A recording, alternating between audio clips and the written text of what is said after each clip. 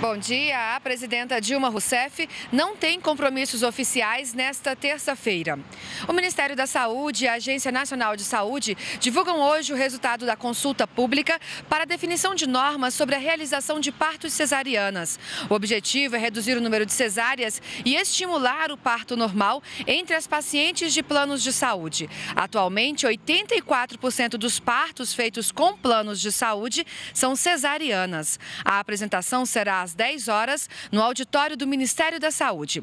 E hoje haverá a transmissão de cargo em dois ministérios. No Ministério do Desenvolvimento Agrário, às 10 horas, Miguel Rosseto passa o cargo para Patrus Ananias. No auditório da ANAC, às 11 horas, Moreira Franco transmite o cargo para o novo ministro da Secretaria de Aviação Civil, Eliseu Padilha. Luana Karen, direto do Planalto.